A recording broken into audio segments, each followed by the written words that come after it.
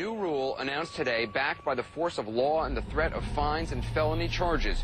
A rule that will prevent reporters and photographers and anyone else from getting anywhere close to booms and oil-soaked wildlife in just about any place we need to be.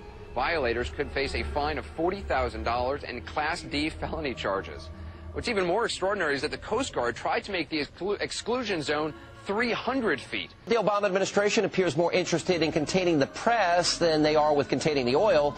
A reporter with CBS News was recently told that if she and her camera crew did not stop filming near Venice, Louisiana, they'd be arrested. BP continues to spray a product called Corexit in the Gulf of Mexico despite demands from federal regulators to switch to a less toxic dispersant to break up the oil from its massive offshore spill. Last week, the U.S. Environmental Protection Agency gave BP 72 hours to replace the dispersant. The deadline is passed now, and the company, in a tense standoff with the EPA, is applying the chemical in record quantities. Um, Hi, Tamara. Thank hey, you. What are your thoughts uh, regarding uh, this chemical dispersant? What makes you feel so confident? I believe you compared it even to Agent Orange. That's Spray on. Spray on. Remember this figure 75%. That's the amount of dispersant the Environmental Protection Agency told BP they had to cut back in using. 75%. That was about a month ago, and the EPA made it known they were taking a hard line, really being tough. made it clear to BP last night that we expect nothing less. We expect to see a substantial reduction in the amount, overall amount of dispersant used. The EPA and Coast Guard say BP mostly complied, reducing its dispersant usage by 68%. But did they really? Turns out, not really. We crunched the numbers. According to dispersant data released daily between April 30th and May 26th, an average of more than 25,000 gallons of dispersant were used each day. Since May 26th, the day EPA directed BP to cut back, the daily average use has only dropped to a little more than 23,000 gallons a day. That's only a 9% drop. Gulf Coast environmentalists say federal agencies like the EPA and the Coast Guard haven't been tough enough on getting BP to scale back dispersant use. This has never been done.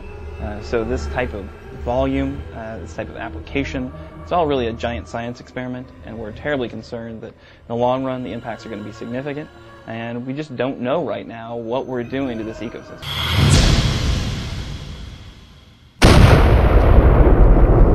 The ultimate war is if you never have to fire a round and nobody ever knew you launched the fight. Is it possible there have already been attacks using weather weapons? Some people believe that Katrina was weather warfare at its most potent. But how do we get from understanding extreme weather to making it do our bidding? Earthquakes, tidal waves, those become the future of warfare.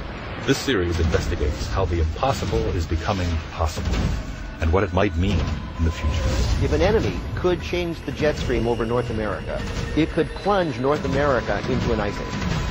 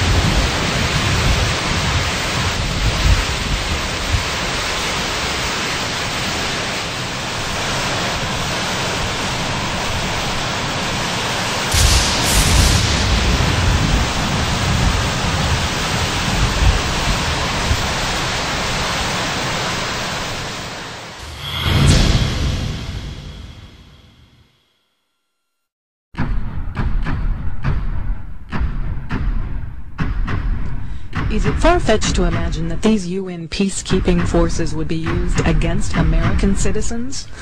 The 502nd, another unit from Fort Campbell, Kentucky, is shown here arriving as peacekeepers in Somalia wearing their UN blue berets and UN insignia. Shortly thereafter, this same unit, the 502nd, was in Arkansas practicing house-to-house searches and seizures in a joint UN training mission called Agile Provider in the spring of 1994. Agile Provider involved 44,000 UN troops, including troops from France and the Netherlands, training in the states of Georgia, North and South Carolina, Arkansas, and Tennessee. Yes, UN troops have been trained in this country in the past, but not in brigade strengths and not in domestic support house-to-house searches and seizures. Many of our congressmen deny that UN troops are being trained in this country at all, but as you can see in these clips from Fort Chaffee, Arkansas, Germans were training here last spring.